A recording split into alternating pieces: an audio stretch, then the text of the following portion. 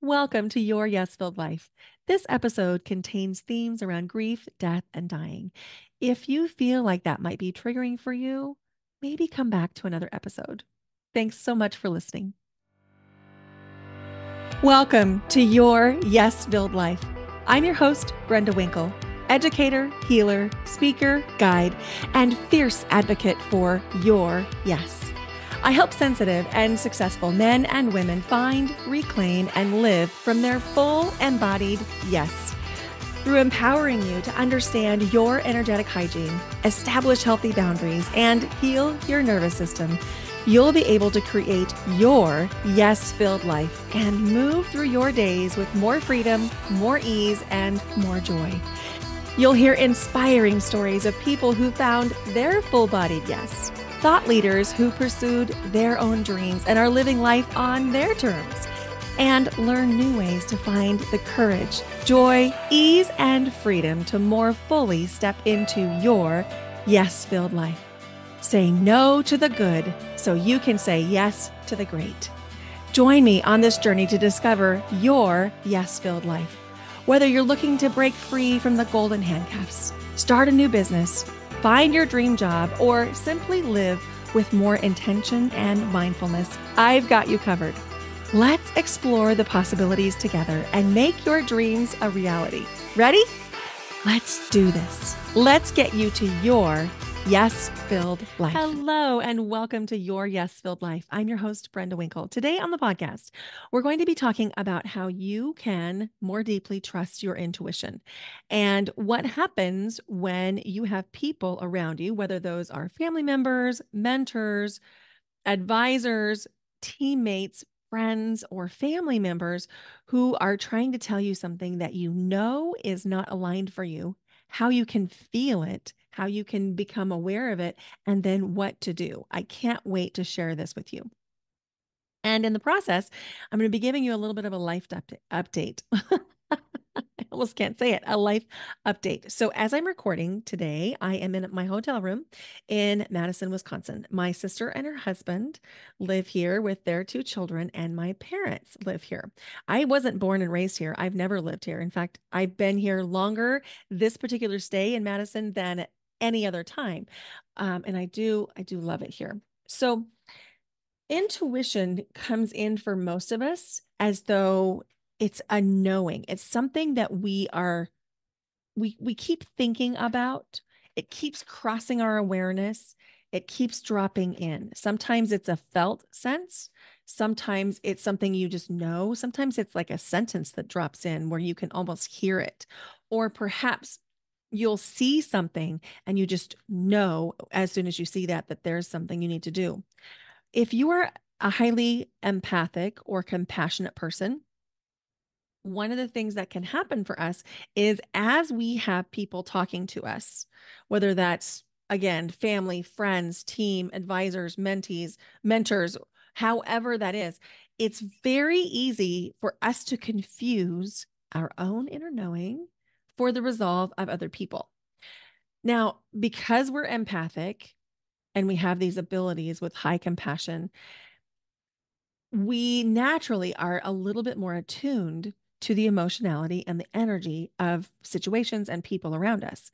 And it can get really confusing, especially when there's people that we trust who are telling us something and our inner knowing says something different. So, I'm going to tell you a story and give you a really crystal clear example of trusting intuition. So, my dad had a health crisis last August, and that health crisis was severe enough that he actually qualified for hospice last August, but he wasn't ready for hospice. He wasn't ready to um, to do any of the things towards end of life because he felt like he had more life to live. Well, this summer, that has all changed as his health has begun to decline at a really rapid pace. And so we were having discussions about what to do as a family does, right? So I came out to Madison in, gosh, it must have been early July, like mid mid July, somewhere in there. You know, this is my second month of full time travel. In fact, my anniversary was just yesterday, August 11th. And so I spent the first three and a half weeks on the Washington coast in Long Beach. Then I went back to Portland for a week. Then I came out to Madison. And when I got back to Portland from visiting Madison, I stayed there for a week and then I moved on to Boise. And I was having such a fun time in Boise that I decided I wanted to stay an additional week and I reserved an Airbnb. And then I realized that I missed a day in my reservation, which meant that my first Airbnb, which was this super cute little ADU unit um, on the bench area of Boise, which is um, just a cute little neighborhood, I realized that I had no place to stay on one night because I just had misremembered dates. And so I reached out and asked my friend Kathy if I could stay the night with her, Bentley and me both. And she said, of course. And so that was the plan. So I was getting ready to check out of my first Airbnb and move to Kathy's. And I had a phone call with my parents, and I could tell that something had changed. And I had this inner ping you need to go to Madison. And I verbalized it to my parents, and they both said, no, don't come to Madison. No, don't come. We don't want you to come. And I was a little bit a little bit hurt, honestly. Like, why don't you want me to come? Like, this kind of hurts my feelings, but okay. And so then I called my sister and said, Hey, I just talked to mom and dad. And they said these things, and I'm thinking I should come. And she said, No, don't come. You should not come to Madison. And I was like, Oh, okay. Ouch again. Um, but okay. And it wasn't personal to me. It was just they didn't want to feel guilty about me changing my travel plans. They also felt like they had so much to manage. They, they couldn't imagine how it would be to have me in town. And they felt bad, both my sister and my mom, about not being able to entertain me, which I'm not in town. I'm not in Madison to be entertained at this point. So, at any rate, I packed up my Airbnb after those phone calls, loaded up the car, and drove over with Bentley to my friend Kathy's. And Kathy and I have been friends for, for many years, and we've done tons of things together. In fact, she's the one who trained me in Reiki and in Theta Healing.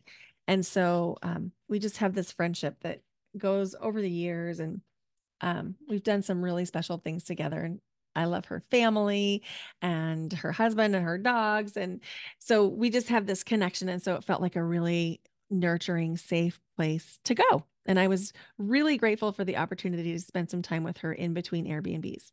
And as I got over there, I could not shake the feeling that I needed to cancel the Airbnb, the next one that I was going to move into the next day. And the feeling just stayed with me. I didn't verbalize it, but I just kept feeling like something's off something's off about this. Is it the, the place? Is it the location? Is it that it shouldn't be in Boise? But something's off. And as the day went on, I just kept getting this knowing something's off, something's off. I should not stay in that Airbnb. And then I had this thing that just kind of came in like a sentence. You need to get in the car and you need to drive to Madison. And I was like, whoa, okay. So I've been told by my family who lives in Madison not to come. And under no, I mean, they weren't mincing words about it. They weren't mean. They were nice, but they were telling me, don't come to Madison. And I knew by Saturday afternoon with every fiber in my body that I needed to go to Madison. And so I was just sitting there quietly with Kathy. We were enjoying our time that afternoon. We let the dogs play. Bentley played with her two black labs and and they were the first dogs that he met after I adopted him because Kathy and her husband Chris invited me to um, stay with them at their Airbnb in Yachats, Oregon last summer, which was really fun. So Bentley knew the dogs, and this time it went really well because he was so much more confident and they were having so much fun. They just zoomed around the yard all day. And Kathy and I went inside to the house um, after the dogs had played outside for a couple of hours. And Kathy looks over at me and she said, When are you when are you leaving Boise again?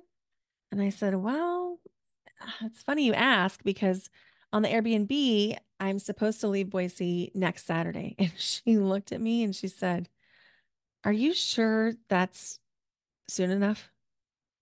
And I laughed and I said, What are you tracking? Are you tracking something with my family? And she's like, Yeah. And you are too. And I was like, Yeah, I am tracking that it's too late. That's that's too late. I need to get to Madison before. And so um Kathy and I talked about it a little bit more. I got some clarity and I decided I was going to leave their house early in the morning. Told my daughter what I was doing, but I didn't tell anybody else. So I drove from Boise to Salt Lake City, Utah, and then I wanted to assess my energy. I wanted to see like do I have the energy to keep going? Because this would be a good place to stop. If not, and I thought, no, I, I have lots of lots of energy. I'm still feeling really good. So I just tuned into my intuition again, which meant for me, I closed my eyes. I took some deep breaths. I just felt into my body, into my energy. And I was just thinking, is it safe for me to continue driving? Do I have the resources and energy? And got a good, solid yes. And then I heard a voice say, go to Cheyenne. So I was like, okay, I guess I'm going to go to Cheyenne. So I texted Kathy and Chris because they knew where I was and said, hey, I think I'm going to end up heading to Cheyenne, which was still a significant distance away from Salt Lake City. But I'd left Boise early in the morning. And so I kept driving, kept driving, and Bentley was with me. And so that was really fun to be able to stop. And it gave me a good excuse to get out of the car. And we took lots of walks and we played at rest areas and at gas stations in the green grass. And it was it was a delightful trip. We got to Cheyenne like 8 p.m. that night. So we'd driven a long time. I think it's 10 hours or so from Boise. And I had just this dream of wanting to like have comfort food in the hotel. So I asked the hotel desk attendant if there was a pizza place that he recommended. And he said, There's only one here in Cheyenne. And so I called that pizza place and ordered uh, a margherita pizza, which is my favorite, and had it delivered to the hotel. And then I was planning to eat part of it that night and then the other part of it on the road the next day. But then something made me think, hmm, I need to call my parents. So I called my parents, found out that some things had changed again. And you know, by then, you know, I'd been on the road for a day. I had known for two days that I was headed to Madison, but still had not told my Madison family because it just didn't feel right. But in this phone call, I learned from my sister, she said, You know, I just don't know when the right time to tell you to come is. And I was like, Yeah, I get that. And I still just stayed quiet. And then my parents said the same thing again when I called them from Cheyenne. And I said, Well, I really think I should come to Madison. And my mom said, Okay, if you want to, I think that'd be good. That'd be good. I think you need to do what's right for you. I think, you know, if you think you should come, you should come. And I was like, Oh, that's a change. And so I said to my mom, Well, the good news is I'm halfway to Madison. right now I'm in Cheyenne. And of course, eh, my mom was like, What? You're where? Why are you there? and I was like, Well, I'm on my way to you. I'm on my way to Madison. And so she was equally relieved and irritated. but I just kept going. My intuition was like pulling me. It was like my body knew I had to get to Madison. So I kept driving. Um, the next day, I drove to Lincoln, Nebraska, which was as far as I could get. Um, I was a little bit more tired from driving so far the day before. So I drove to Lincoln, stayed the night in Lincoln, and went to the Sunken Gardens in Lincoln the next morning. And that was a place where my brother in law proposed to my sister. And so that was a special place for our family. We had wedding pictures there in the end of July in like this baking heat. But I just have such fond memories of that beautiful place. So Bentley and I went through the Sunken Gardens and then we continued our drive through the rest of Nebraska, which isn't very far, and then into Iowa. And I stopped in uh, West Des Moines to host my my group coaching call for second chapter. So I pulled over to a park set up a hotspot on my phone and held my call for for second chapter. And that was just so it felt so good. It felt so aligned, so resourcing to be with those women and to be coaching and and loving on them and holding space for them and that just felt like seriously the perfect the best thing to do. And then I got in the car and I kept driving and I got to Madison later that night, which was a day earlier than anyone was expecting me. And so there were some emotions about me arriving a day early. And I still just like, I was steadfast, steadfast in my knowing that my intuition was right. I needed to get to Madison. So on Wednesday, I was in Madison. And it turned out that my mom needed to go do some things. And it left me alone with my dad for several hours. And so during that time on Wednesday, I just opened up my phone. I opened up the voice notes app, the voice memos app, and I just recorded my dad talking. And I asked him all kinds of questions, and he knew I was recording it. He was all for it. And then he was so excited about it and had so much fun that he wanted to do the same thing again on Thursday. And so now on Thursday, he had a whole list of things that he wanted to make sure I asked him about because he wanted to talk about these things and he wanted to make sure that he said these things to these people on the recording. And so I spent my day Wednesday and Thursday in between calls and in between clients. I was just sitting with my dad with my voice memo notes open, asking him questions. And it was the best. It was so good. Um, oh, big wave of emotions. And I was so grateful to have that time. And then um, you know, the the day before or something, I don't know, my days are getting a little bit mixed up. You know, hospice care was initiated. And so the hospice team had come over and and that meant that they got to meet their hospice team, my parents being they, they got to meet their hospice team and, and things like that. And so then on Friday, we did a little bit more recording, but my dad wasn't feeling very good on Friday. And so we stopped the recording um not very far in because he just wasn't feeling good. And on Saturday, he asked for the family he asked for everyone to gather around. And so we did. And I FaceTimed in my daughter so that she could be with us. And we just spent like, I don't know, three or maybe even four hours. And we were just gathered around my dad.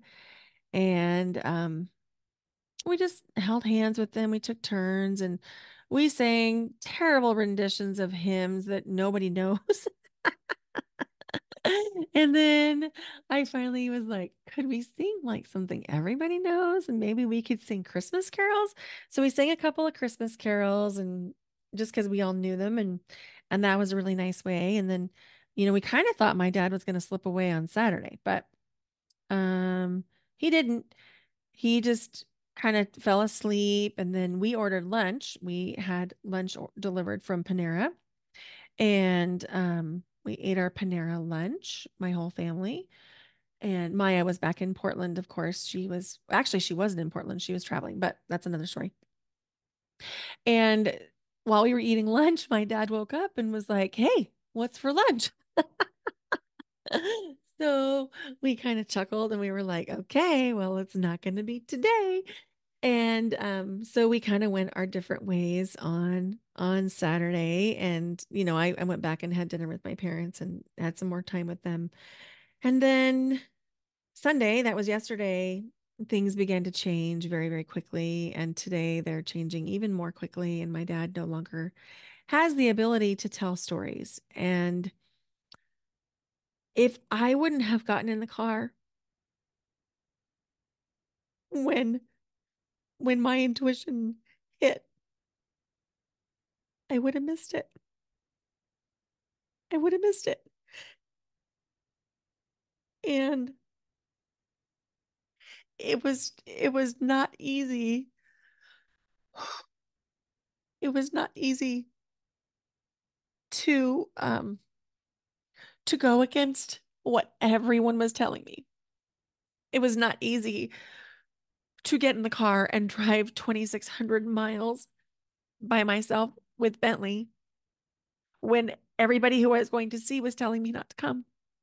It made no sense. And yet I knew I had to. I knew I had to because I knew I knew I was going to miss him if I didn't. And so, you know, this is a pretty high stakes version of trusting intuition, but you have opportunities all day, every day to listen to your intuition or not.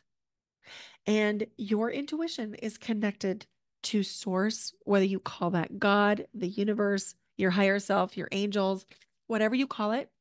Sorry, now I'm uh, waves of emotion. Um, your intuition is connected to your inner knowing. And when you let it speak and you listen to it, you're going to be amazed at how held you are. You'll be amazed at what you're guided to do. And you know what? Sometimes it will not make sense. And sometimes it will have you going against what everyone tells you. But if your intuition says that something is right for you, invitation to just do it and trust that it's all going to work out on the other side. So, how does your intuition present? Well, it differs for everybody. So, on the episode where I interviewed Crystal Clenny, she talked about 18 tracks of intuition that she's developed. She talked about the six intuitive tracks, the six empath tracks, and then the six niche tracks. And so, uh, that's a great episode to go listen to. If you haven't listened to it, go check it out because there's tons of information on intuition. I find I identify as an intuitive but I have really, really strong empath abilities. And so I think my my primary way of gathering information is through my empathic abilities. And that means I feel it in a body sensation. So when I make a decision that does not feel aligned, I'm going to feel something in my body. I'm going to feel like dis-ease in my stomach, like a sense of of gurgling or just kind of upset stomach. I'll feel tightness. I might get a headache. And when those things happen, I know that I'm going against my inner knowing. So I wanted to share that with you because that might be the same for you too. Or maybe it comes in for you as something you hear, or as it's a repeating thought, or it is something that just continues to come up for you. Maybe you keep seeing signs for the same place that you're supposed to go visit. For example, Sedona. that is something that has come up for me. I cannot tell you how many times I know I'm supposed to go to Sedona really soon. And ironically, I was going to go to Sedona as soon as I got done playing around in Boise. And um, I still may go there this fall, but we'll see. We'll have to see how things develop. All this is to say, you have more access to your intuition than you're giving yourself credit for. And when you begin to give yourself permission, and really that is the thing, you have to give yourself permission to know what you know you're going to be absolutely amazed. I found the same thing happening in full time travel. When I make decisions before they're fully baked, I end up canceling plans because they don't feel good. But when I wait until it's fully formed and I'm like, oh my gosh, yes, this is the thing, then I end up having the most amazing experiences. And let me tell you something none of this is happening on my timeline. Like, None of this is happening on my timeline. I'm not saying, you know, I'd like to go here on Tuesday and here on Thursday, and I'd like to have it all sewed up by Friday. Okay. I mean, that's what I say, but that's not what's happening because that's not how these things work. We can't control the timing, we can't control it. So sometimes you just have to kind of take a little trust fall with the universe and trust that when you get these these repeating repeating things that they're your intuition. Now, one of the things that I'm really skilled at doing is helping people discern the difference between intuition and intellect. So, here's how you can tell you're in intellect. If you notice that the thought is really in your head, in your mind, and you notice that there's a lot of competing thoughts. Should I do this or should I do this? Or is this the best or is this the best? Or could do this. If you notice that kind of energy, you are in your intellect. If you are fact checking, you're in your intellect. If you're writing pros and cons, you're in your intellect. Now, your intellect is really important and valuable. We need our intellect, it's what makes you really smart. And also, intellect is not the same thing as your intuition. And sometimes they're going to tell you two different things because your intellect is capable of making you overthink and overthink and overthink. Where your intuition, it's going to be just really clear. It's one thing. The difference is that the intuition is often more subtle. So it comes in a little bit softer than the intellect for most people, which is why it's harder to listen to. So here's a way that you can really learn to listen. Are you ready? You're going to need to slow down. You're going to need to take some white space. And it's also really helpful if you apply my power framework for people with high compassion and empathy. In fact, I'm teaching a free masterclass on the Power Framework on Friday, August 16th from 8 to 9:15 a.m.